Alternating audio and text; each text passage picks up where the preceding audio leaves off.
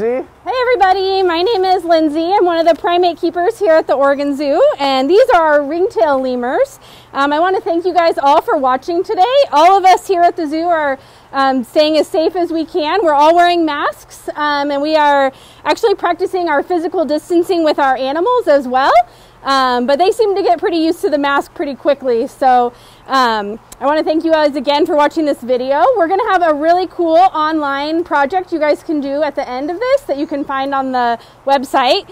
Um, and uh, for supporting us um, by watching and learning, that's um, something that we can the most we can ask for, but we also have a donation pay uh, button right here on this video. Um, we're still here caring for these guys every day, and I'm really glad to get to share them with you. All right, well, Cadence wants to know why are these lemurs black and white? Hey Cadence, so these lemurs are black and white because um, it kind of helps them camouflage. Um, these guys actually do spend a lot of time on the ground and they kind of go in a big group. So just like a zebra has stripes, these guys have some stripes on their tails to help them kind of blend in with their background. Dylan's asking what do they eat? Great question, Dylan. Um, these guys eat a variety of fruits and vegetables. They get lettuce every day and they get some primate chow. It's kind of like a dog food, but made especially for lemurs. Grace wants to know how long are their tails? Um, their tails are probably about a foot and a half long, Grace. Um, Elise wants to know what their names are. Okay, so right in the middle, right here, this is Aslan. She's the mom. She's 11 years old. And then um, Gizmo is right below her. Um, and she's six years old. And then the one right up top eating, that's um, Holly, and she is uh, seven years old. And everybody out there, we got a couple of comments about sound. Can you just let us know if you're hearing us, us okay? Uh, but we'll keep going on with a question. Ilana, who, who missed it might before, asked, why are their tails so long? Um, their tails kind of help them with balancing because they spend a lot of time jumping through the trees. They're very good at jumping, so they have to use that tail to kind of balance on those tree branches, and then they grab on with their hands and they can move really quickly throughout the forest. Oliver and Asher are asking, how high can they jump? Oliver and Asher, that's a really great question. Um, I think they can jump maybe about like 10 feet or so. I know some lemurs can actually jump sideways about 30 feet. So, but these guys can't jump quite as far. So, so Lindsay, can you tell us a little bit about where ringtail lemurs come from? Yeah, so these guys are all found on the um, island off the coast of Africa called Madagascar, and that is the only place in the whole world where all lemur species are found. So, Lachlan wants to know if they can hear have if they have any predators. Great question, Lachlan. Um, they actually do have a few predators. Their main uh, wild predator would be the fossa. Um, and it's a carnivore that can kind of climb up the trees and eat them. Um, so they have to be very diligent about staying away from them. But then their other biggest threat is really people. Um, and that's just because we take up a lot of space. And if you can imagine when you live on an island, you don't have a whole lot of space. Um, Astrid is asking what group of animals are they in? So what are they related to? So these guys are primates, um, but they're not monkeys and they're not apes. So they kind of fall in a very special category called prosimians. And that word is a really big word, but it basically means before monkeys. So these guys were around for millions of years and they evolved separately from monkeys, but they are primates. Ellie is asking if they like to move it, move it. I think they like to move it, move it. Actually, sometimes, Ellie, we give them the radio to listen to. Um, and so, as enrichment, and it provides a different sort of auditory enrichment for them. So, I'm not sure if they have a favorite song, but they definitely get to listen to music. Ashley is asking about their lifespan. How long do they live for? Ashley, they live to be about 27 years old. So, all of our girls right here are pretty young. So, they got a lot of life left. Quinn is asking uh, about their sense of smell. Great question, Quinn. So these guys have a wet nose, kind of like your dog or cat at home, and that actually helps them with their smell. So these guys are very scent oriented, and they actually do scent marking to um, keep their territories known. And so their sense of smell is really great. Lulu is asking how many babies they have at a time, and what do you call their babies? Uh, great question, Lulu. So um, ringtail lemurs typically have one, sometimes two babies. Um, more like our red ruff lemurs, who you'll meet in a little bit. They typically have twins, and actually, our red ruff lemurs are twins. Um, and as far as what they're called, I just call them babies, but um, they're just really they're young, um, and they stay with their mom for about eight months. So Olivia wants to know about lemur intelligence. How smart are these lemurs? you know, these lemurs are really good at looking for food and, um, you know, foraging for things in the forest and staying with their social groups, but they're not as intelligent as a monkey would as far as puzzle feeders, but they're still pretty smart for what they need to know. And Ellie wants to know what other enrichments do they get?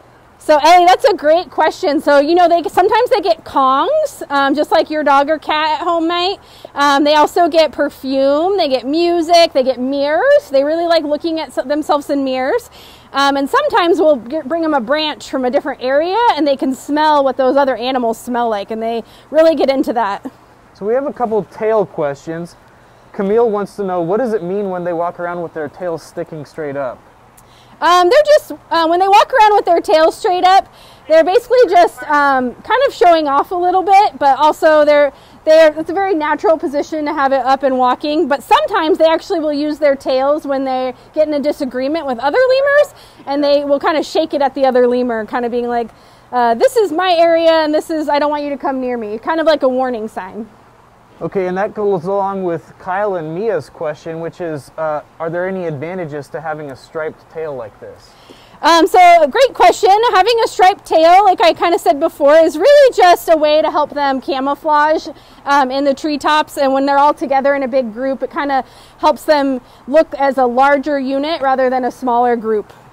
And we'll take this one last question about the ringtails. Zaid wants to know Do they stink fight? And what does that mean? They do stink fight. Um, so basically, what that means is they will they have little scent glands um, on their bodies, and they will rub those scent glands onto their tail, and then they kind of like I said, they put their tail up and they shake it at um, the other lemurs, and it it kind of gives off a lot of the, their smell, and it's a way for them to kind of be uh, say I'm more dominant than you, and this is my spot. So they really like to have their own spaces, and they will uh, defend them with their little tails for stink fights. Okay, so Lindsay, we have some other kinds of lemurs that live here too. Are we going to meet them? Yeah, we actually have two more lemurs. We have red ruff lemurs, um, and they live with our ringtail lemurs, but the red ruff lemurs are actually in charge of everything. So, lemurs um, live in a society where uh, the girls or the females are most dominant. And so, um, our red ruff lemurs are actually the most dominant out of all five lemurs we have. So even though there's more ringtail lemurs, um, they tend to give a little space to those red ruff lemurs, and they'll probably be coming in here pretty soon. Here they are. so what they were we come in hot. just, yeah, so what were we just seeing just then? Um, so we do these kind of encounters when the zoo is open, where we have people in here in the exhibit with us, and so the red ruff lemurs are very smart, and they know that some yummy food is coming, and, or that there was yummy food around. I actually have some ice pops for them also. Oh, sorry. There you go. Um, and so the red ruff lemurs came running in and they were pretty excited. And so it kind of threw the ringtails off a little bit. And so they kind of were like, oh no, what's happening? Um, a little bit of a surprise. But uh, So K- Kaden wants to know what these lemurs eat. Caden, these lemurs eat um, the same thing that our uh, ringtail lemurs eat. So they always get lettuce every day and a chow, and then they get a variety of fruits and vegetables. Grapes are their absolute favorite.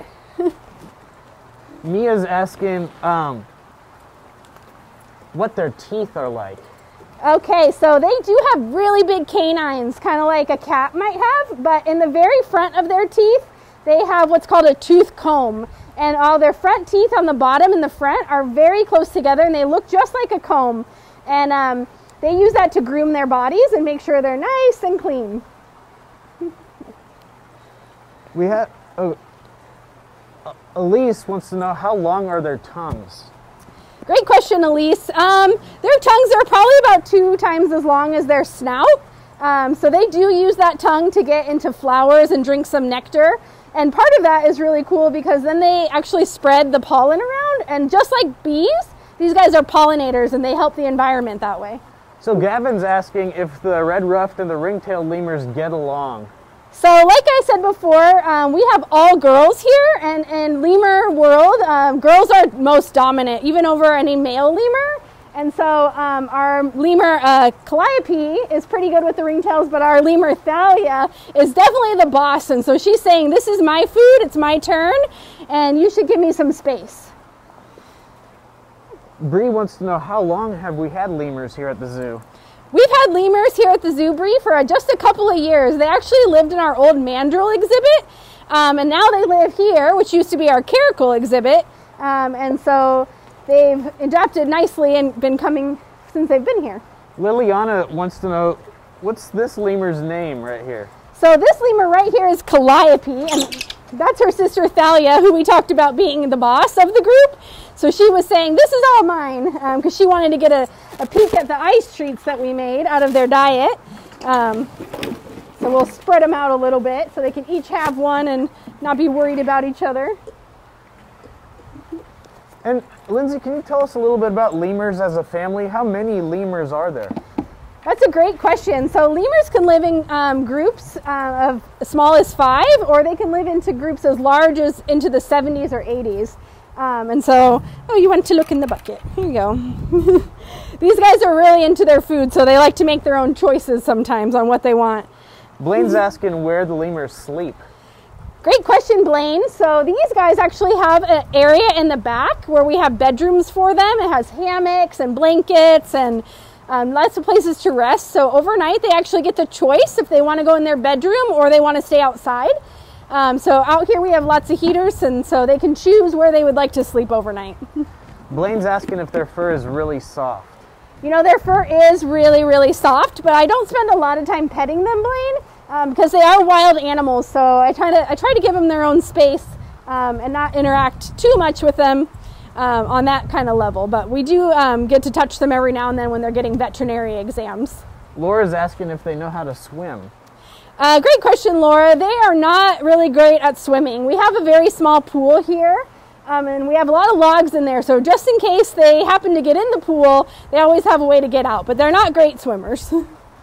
so, Lindsay, can you tell us a little bit about the threats that lemurs face in the wild? Yeah, so they're, these guys are all critically endangered, which means their numbers are dropping drastically. Um, and so most of that is due to um, kind of habitat destruction. So, one thing you guys can do at home is to have a really um, good idea of the wildlife in your own backyard and make sure you're supporting them, but also by recycling and saving our planet that way. Um, when you buy wood products, a really great thing to do that actually helps lemurs is if you buy sustainable wood and local wood, because um, then we don't have to ship it in from Africa where these guys live. Um, Leonardo was asking how much do they eat? Leonardo, that is a great question. You know, they eat. Um, I get they get a bucket about this big, um, a little bit smaller, and they it's pretty full, and they get that throughout the whole day. And we spend a lot of time feeding them. They get sometimes five or six feedings a day, all throughout the day, because that's how they would spend their time in the wild. They would be foraging for their food and resting.